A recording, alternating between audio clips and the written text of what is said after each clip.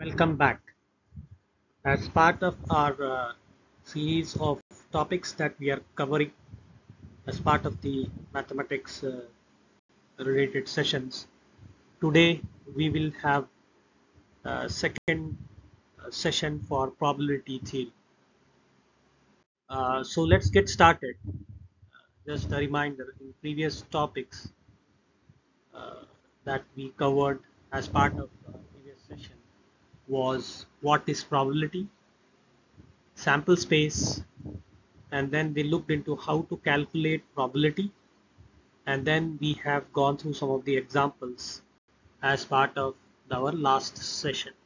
So now today, what we will be covering is uh, joint probability, then mutually exclusive events, and conditional probability. So these will be the three focus uh, things we'll be covering. And the last thing what we'll have is exam problems and some of the examples uh, we'll see covering all the three major areas. Now let's get started. First, uh, we'll pick up joint probability. So say for example, uh, we have x and y uh, are two events.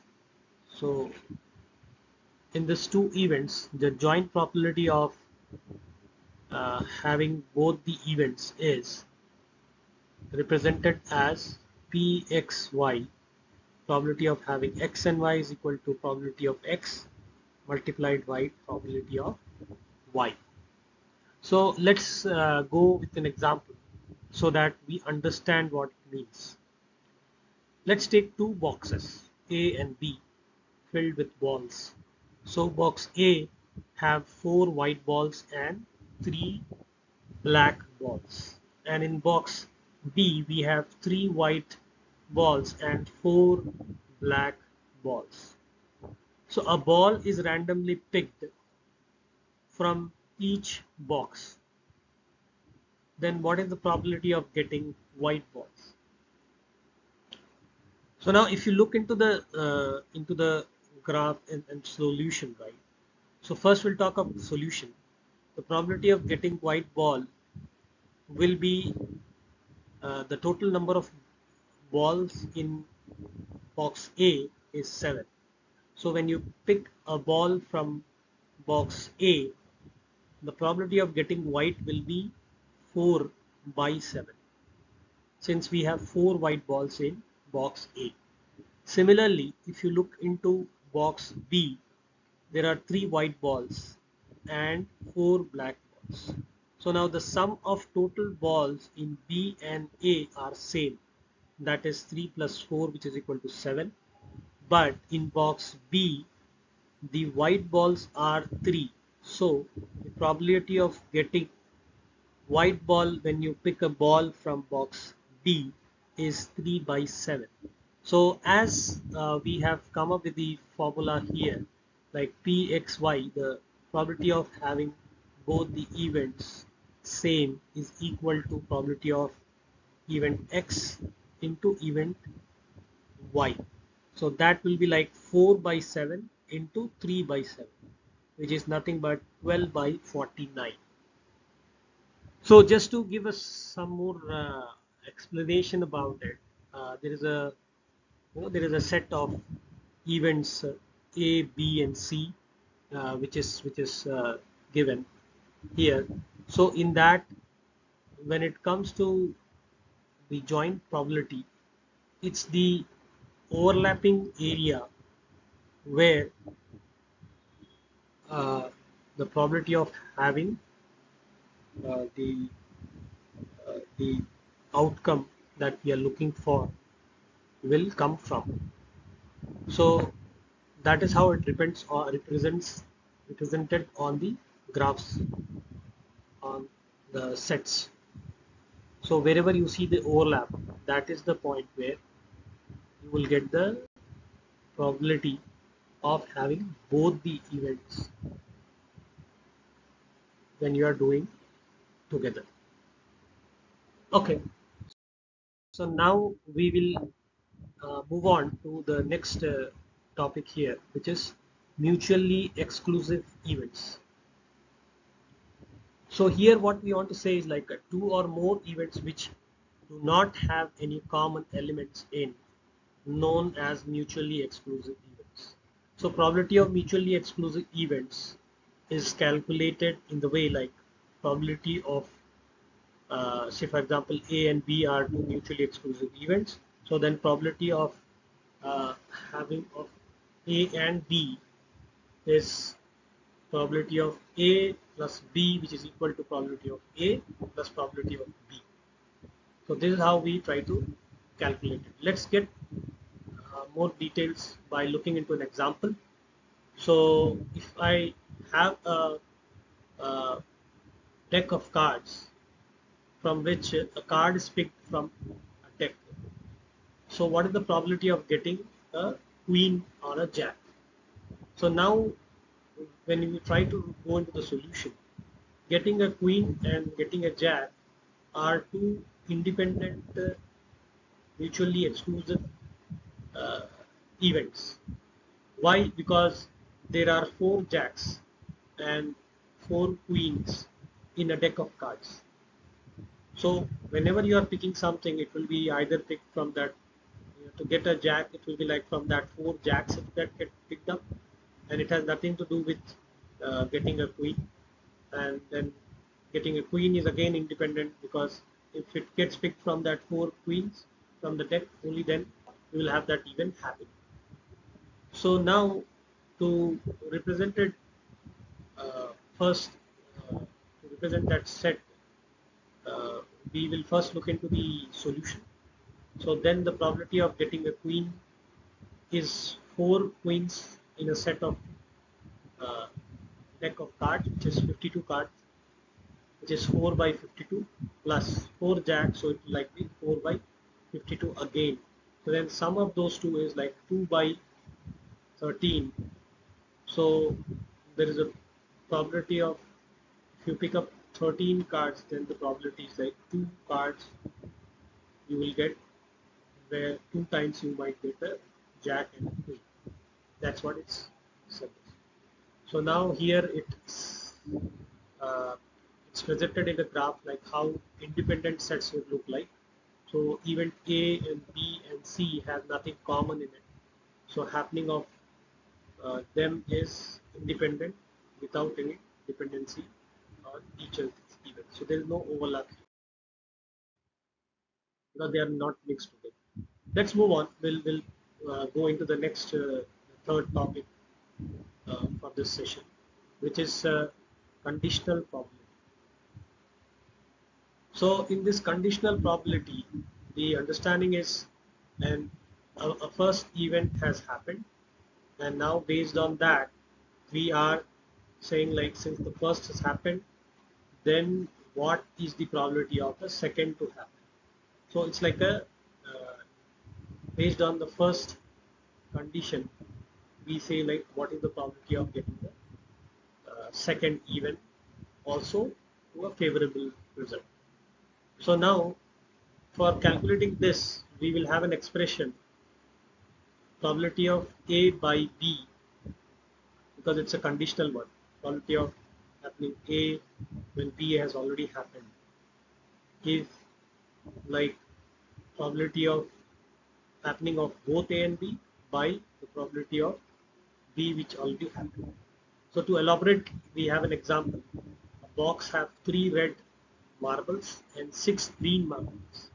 Two marbles are picked at a time so the first marble picked, already picked, is red. Then we are seeing like what is the probability that the second marble picked is also red. So look into the solution. What we will have is now when in uh, when the marbles are picked at a time, like one by one.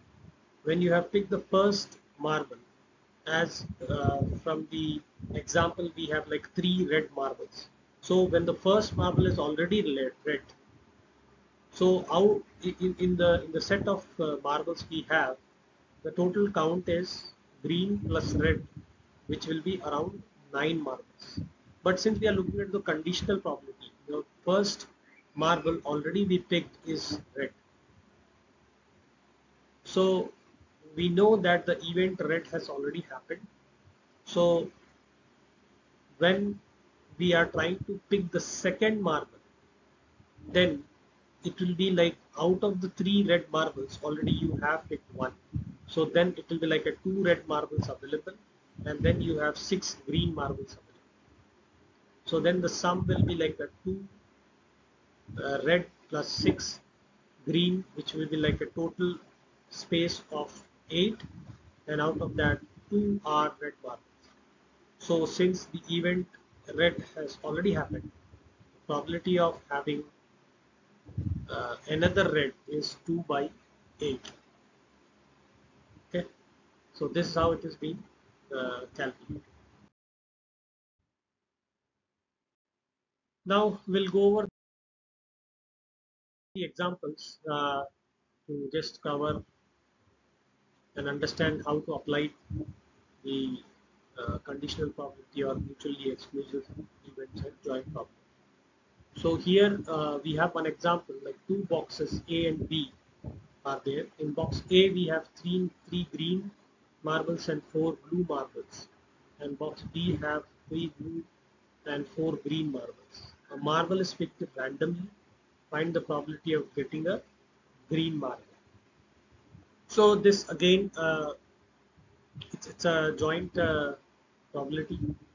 So since we are picking the uh, marbles from both the boxes and trying to find the probability of getting a green marble. So here the sample space is same like we have seven marbles uh, in each box uh, but the green uh, marble in box A is 3 and green marble in uh, box B is 4. So when we apply that uh, rule of probability of x y having together is probability of x into probability of y which is nothing but uh, we will like uh, 3 by 7 into 4 by 7 which is 12 by 49 now we'll look into the second example a dice is rolled find the probability of getting 4 or 5 so now getting 4 or 5 on rolling uh, dice are two mutually exclusive events. So considering that we have a formula of like we add up the both both both the events of having when they are mutually exclusive, exclusive we have seen in our previous slides. Now the probability of getting 4 is 1 by 6 and probability of getting 5 is 1 by 6. So then the probability of A and B have, having 4 and 5 uh, is like a sum of probability of having 4 plus uh, probability of having 5 which is nothing but 1 by 6 plus 1 by 6 is equal to 2 by 6 that is nothing but 1 by 3. Now let's in, let look into the uh, last example where we have two cards uh, which we picked it randomly from a deck of cards. First one is a red card and find the probability that the second card is also red. So now uh, from the given data two cards are picked from a deck of cards. First one card was red and the second we are checking whether what is the probability of getting that one as red. So the condition here is like the first card already picked is red. So that it falls under the conditional probability. So now as per the probability of uh, second card to be red is we have 25 by 51. So we have a deck of uh, 52 cards. In that, since one card is picked, now the sample space has come down to 51 and generally we will have uh, like equal quantity of 26 and 26 cards of red and black. So now here the probability since we already picked the first card from the deck which is red. Now the number of red cards left in the deck are 25 so because of that the probability of getting the red card again is 25 by 51 so that is where I think we have gone through the, some of the examples for all the three uh, probability theories. So there this we complete uh, this session. With this thanks for watching and please please do subscribe this uh, channel. And we'll continue coming up with more learning sessions on other topics as well. Thank you for being with us. Happy learning